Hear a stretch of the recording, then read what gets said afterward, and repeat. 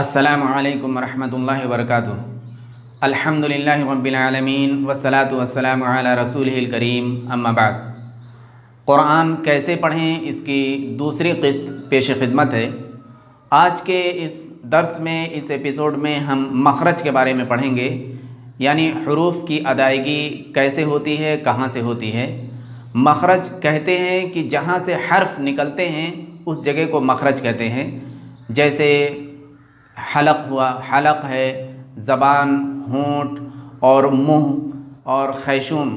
इस तरह से इनके, इनमें सत्रह ऐसी जगह हैं जहाँ से उनतीस हरूफ अलग अलग तरीक़े से अदा होते हैं। आज हम एक एक करके उन्हीं हरूफ को अदा करने की कोशिश करेंगे। आइए सबसे पहले हलक से जो हरूफ अदा होते हैं, उनको हम समझ लें और उनकी प्रैक्टिस करने की कोशिश करें। हलक से जो हरूफ अदा होते हैं, उन्हें हरूफ हल्की के नाम से जानते हैं। ये ये छः हैं। जैसे हमज़ा, हा आन हा, गैन, खा। ये छः हरूफ हलक से अदा होते हैं और इनको अदा करने का तरीक़ा यह है कि हमज़ा, हा एक जगह से अदा होता है, यानी हलक के बिल्कुल एंड से, यानी निचले हिस्से से ये अदा होता है। हमज़ा, हा। हमज़ा, हा। और उसके बाद दरमियान से, हलक के दरमियान से आइन हा आइन हा दरमियान से निकलता है। और ज़बान की जड़ जहाँ होती है हलक में, वहाँ से गैन खा गैन खा, यानी हलक के बिल्कुल ऊपरी हिस्से से गैन खा निकलता है, दरमियान से आइन हा, और बिल्कुल नीचे से हमज़ा हा।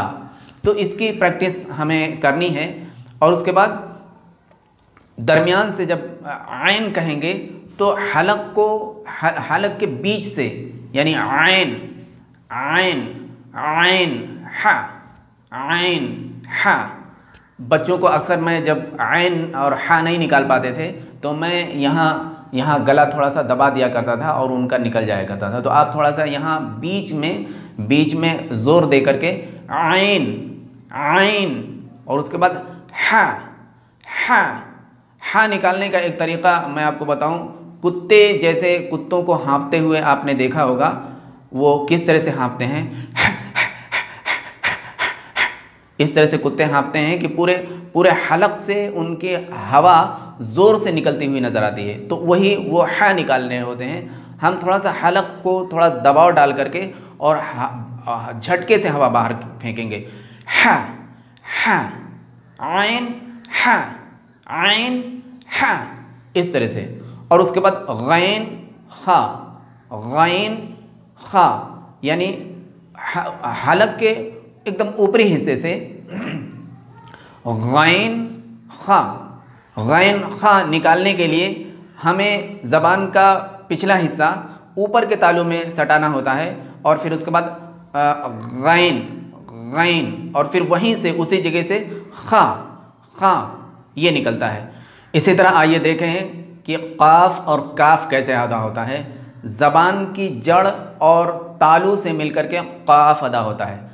ज़बान की जड़ को तालू यानी जहाँ कौवा होता है, कौवे के पास नरम हिस्से पर ज़बान की जड़ को मिलाएँगे और उसके बाद वहाँ से काफ काफ काफ, ये काफ हो, काफ काफ की आवाज़ होगी। और उसके बाद उसके ज़रा सा आगे, उसके ज़रा से आगे ज़बान को मिला करके हम काफ अदा करेंगे। यानी जहाँ से हमने काफ निकाला, उसके थोड़ा आगे, यानी मुँह की तरफ़, यानी दांत की तरफ़, उसको और ज़बान को मिला करके काफ अदा करेंगे। काफ काफ, इसकी आपको प्रैक्टिस करनी होगी। आइए अब जीम, शीन, या, ये इन्हें हरूफ शजरिया बोलते हैं। इनकी अदायगी कैसे करते हैं तो जीम, शीन या ये वस्त ज़बान और उसके ठीक ऊपर तालू से मिला करके ये अदा होते हैं। जैसे ज़बान का हिस्सा और ठीक उसके सामने का तालू, दोनों ज़बान को तालू से मिलाएँगे और उसके बाद जीम जीम। वाद कैसे अदा होगा? ज़बान को करवट दे करके और उसको ऊपर के दाढ़ से मिलाएँगे और उसी से, यानी ज़बान को बाएँ तरफ़ से करवट दें और उसको ऊपर के दाढ़ से मिला दें तो वहाँ से वाद अदा होगा। वाद। वाद। इसी तरह लाम, नून, रा, ये तीनों हरूफ एक ही जगह से अदा होंगे। लाम, यानी ज़बान का आगे का हिस्सा ऊपर के दाढ़ में सटा करके लाम, और वहीं से ज़बान के ऊपर के तीनों ज़बान, तीनों, दो दांतों या तीनों दांतों के जड़ से, मसूड़े से नून ज़बान को सटा करके नून और फिर रा रा, ये अदा होंगे। इसी तरीके से ता, दाल क़ा एक ही जगह से अदा होते हैं। ता यानी ज़बान को ऊपर के दाढ़ में मसूड़े से मिलाएँगे।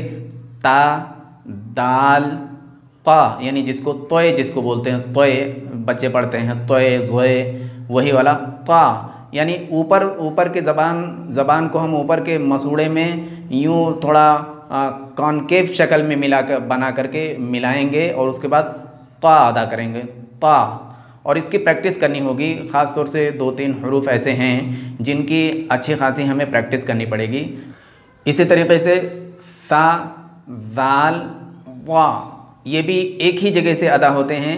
जब ज़बान की नोक दांतों के सिरे से लगे, ऊपर के दांतों के सिरे से लगा, लगाएँगे, तब ये तीनों हरूफ अदा होंगे, जैसे सा सा सा, दाल, वा वा, सा, दाल, वा।